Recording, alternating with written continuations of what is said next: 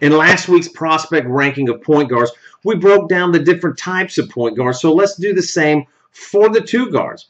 Now we can look at a shooting guard who primarily focuses on scoring. That's a player that moves well with and without the ball, uh, looking for open shots from deep, mid-range, or slashing inside for the finish.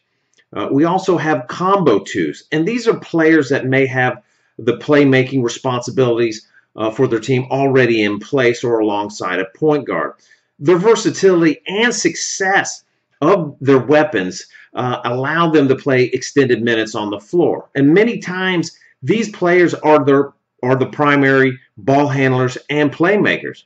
A good example of this is the Bakersfield's Elijah Millsap.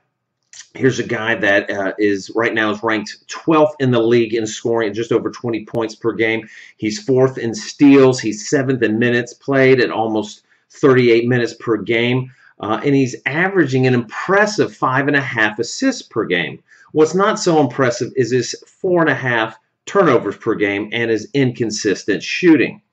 Also in this category, we got to look at the Santa Cruz Elliot Williams. Now, this guy is the highest ranked two guard in the assist category, averaging over seven assists per game. He's also averaging almost 22 points per game while shooting 38% from behind the arc. Now, the NBA scouts are going to have the GPS on him as he's going to have to be more than just a go-to guy, more than a two guard. He's going to have to do it all now that Joe Alexander is gone. Another example of a combo two, we got to take a peek at Idaho's Kevin Murphy.